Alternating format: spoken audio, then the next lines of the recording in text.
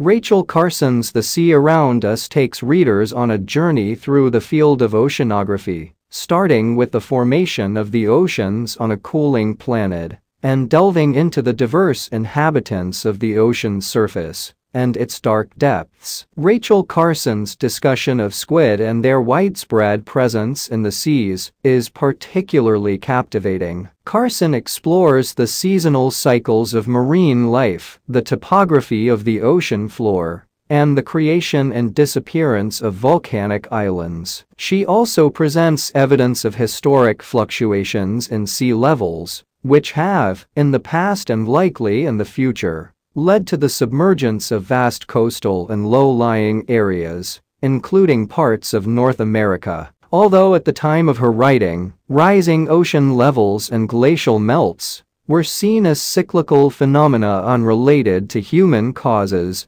she emphasizes that significant human settlements will eventually be underwater. The only questions that remain are when this will occur and how we will prepare for that day. The book delves into various aspects of ocean movement, including waves, tides, and the vast currents that circulate around the globe. Carson highlights the vital role of the oceans in our lives, from providing essential salt to acting as the Earth's thermostat. She emphasizes the ocean's remarkable capacity to store heat, illustrating how even a 1 degree rise in ocean temperature can have significant consequences. In the final part of her work, Carson explores the influence of the oceans on human endeavors. She delves into our historical and ongoing quest to navigate and explore the sea, including our ventures into its depths.